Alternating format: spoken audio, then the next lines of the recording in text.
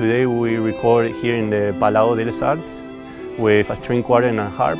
We had to compose a piece in, in a certain text, for a certain text. And it was a very exciting experience to record here because this is the first time for, uh, for ourselves to experience such an amazing recording with this auditorium, with this hall.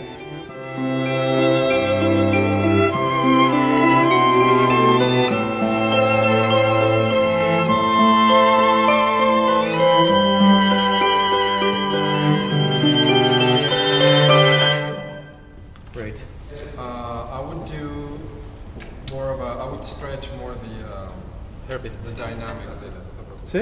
Ok, vale, perfecto. Ok, muchas gracias. Muy bien, muchísimas gracias. I'm Casper. I'm from Germany and Poland. It's great to be here because it's such a special atmosphere and acoustics also and also great musicians so I'm really glad to be here. And in general I would say it's a great experience to be in Berklee as a student.